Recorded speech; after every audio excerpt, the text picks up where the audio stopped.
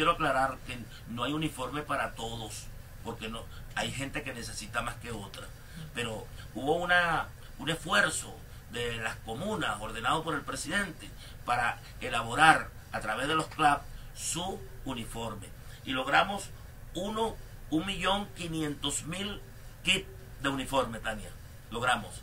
Eso significa, eso significa 9 millones de piezas para venderla a precio justo, ¿no?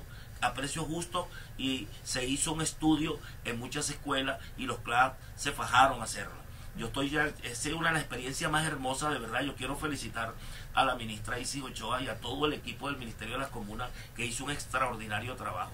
Ya nosotros podemos hacer todos los uniformes, eso está demostrado.